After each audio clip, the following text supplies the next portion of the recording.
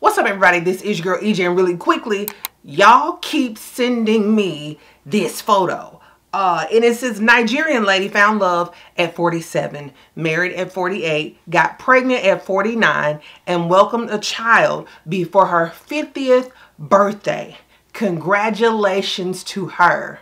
I have had a million people, well, you know, like, like maybe 16, six, 16 for sure. I have had so many people send this picture to me saying, I thought this was you. How? Now don't get me wrong, you know, I'm looking at the picture and I'm saying, you know, I'm, I'm good.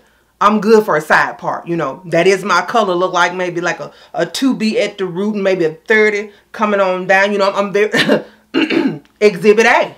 And I'm saying, okay, you know, maybe, maybe, you know, the skin complexion, you know, and then like, like the, the facial structure, I could see why if you look real quick, you'd be like, ooh, ooh, I thought that was EJ. But if you look and you reading and you paying attention, you're not, you're not, you're not, you're not gonna think this is me. Okay, if this me, who I'm standing beside?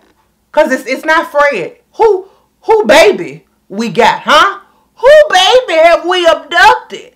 Don't get me wrong, I've been trying to get my husband twins for you know a long periodically time, right? But this this is not this is not us, y'all. You know, my husband don't have any hair. He don't have no hair. Also, if you look at her arms, you you, you see like how that her her arm is really juicy and meaty.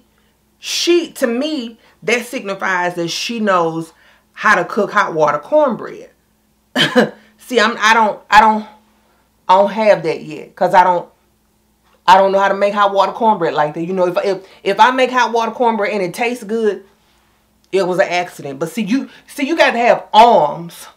You got to have arms to do those those dishes. And it looked like she, it looked like she's a trusted source for holiday dishes. And and they hadn't, my family hadn't given me that responsibility yet. Anyway, like I said, congratulations to this beautiful, happy couple on their newborn baby. But that is not me standing beside him. You know,